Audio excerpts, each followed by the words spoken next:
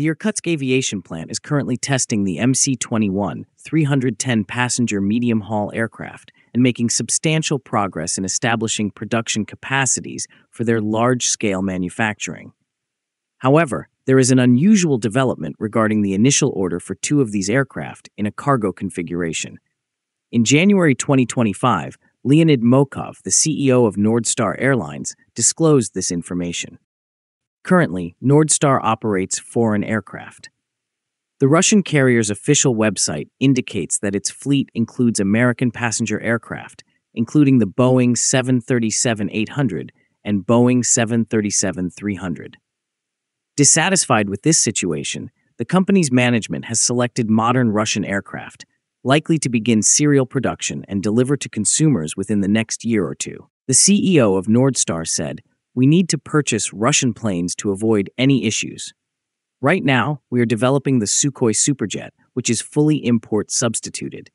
While there are challenges with the engine, we are promised a solution in 2025. We've ordered five of these planes and aim to add them to our fleet, though not before 2027. The MC 21 is also fully import substituted, equipped with our engines, and nearing the end of testing. We're promised delivery of the MC 21 in 2025. We've ordered 10 of these aircraft. Additionally, we plan to acquire two cargo planes based on the MC 21 starting in 2030. The Russian aviation industry has allocated substantial resources to the production of import substituted aircraft, such as the Superjet and passenger MC 21, and there is already significant demand for them. The cargo version of the MC 21 is the first major step in this direction.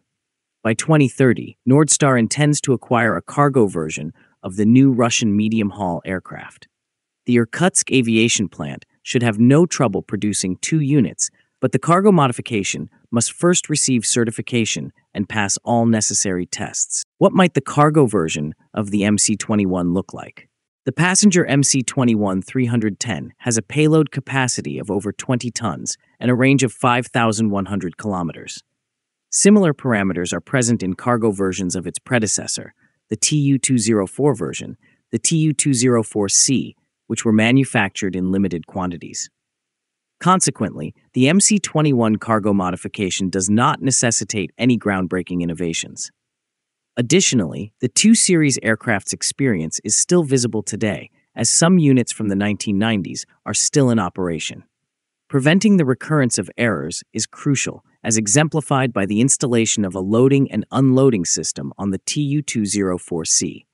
This system was based on Western solutions, which at the time relied on American technology from Ancra. Domestic solutions are the sole viable alternatives in the present circumstances. Volga Dnepr expressed interest in a potential cargo variant of the MS 21 aircraft at the 2021 MAKS Air Show. Irkut Corporation announced in the same year that it is in the process of developing cargo versions of the SJ 100 and MS 21 passenger aircraft. Oleg Guliev, the director of the regional aircraft branch of Irkut Corporation, said, We are considering the development of cargo versions of aircraft, and this work is already underway. Currently, we are working on conceptual solutions for the production of a cargo version. This issue is being explored not only for the Sukhoi Superjet, but also for the MC-21. Comparing the MC-21 310 to its Western counterparts, particularly the Airbus A320neo and Boeing 737 MAX, reveals several significant features. The MC-21 310 boasts a competitive maximum payload capacity of 21,300 kilograms, which is slightly lower than that of its Western counterparts, the Airbus A320neo and Boeing 737 MAX, which is about 24,000 kilograms. This difference could limit its appeal to airlines that prioritize cargo capabilities, particularly in markets where cargo weight is a critical factor.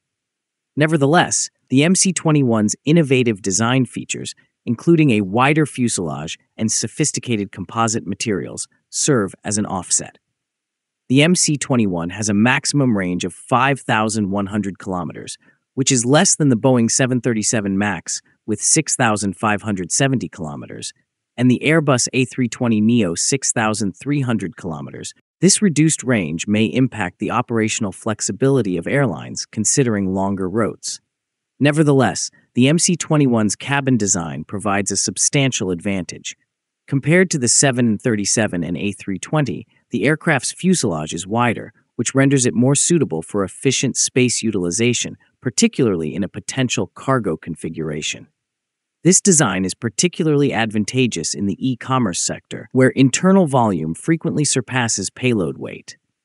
Altitude Addicts estimates that the aircraft has the potential to reach a cargo volume of approximately 150 to 170 meter cube if it is converted into a freighter version hypothetically named MC21 310F subject to the optimization of the interior for cargo loading. This would enable the medium haul freighter to compete in the market by providing 10 to 11 standard cargo pallet positions. The following table provides a summary of the anticipated specifications of a hypothetical MC21 freighter in comparison to current freighters. Approximately 3,800 to 4,200 kilometers is the estimated range of the MC21 freighter with a maximum payload. This is slightly more than the 737 800 BCF with approximately 3,750 kilometers and the A321 P2F with approximately 3,700 kilometers.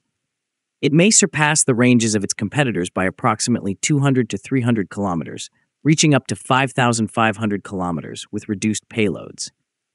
The Airbus A321 P2F has a substantially larger cargo volume of 208 meter cube for comparison purposes, while the Boeing 737-800 BCF provides approximately 141.5 meter cube. Operators who prioritize medium-haul routes with moderate cargo volumes may find the MC-21 freighter to be an appealing alternative, even though it falls between these two in terms of volume.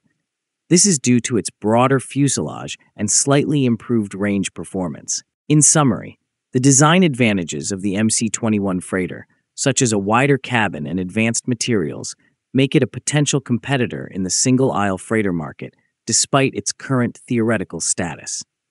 Its success, however, would be contingent upon the extent to which Irkut optimizes its interior for cargo operations and satisfies market demands for payload capacity and range. Now, do you think the MC 21 cargo has international potential? Let us know in the comments. Please like and share our videos and subscribe to our channel. Please also take membership in our channel to encourage us.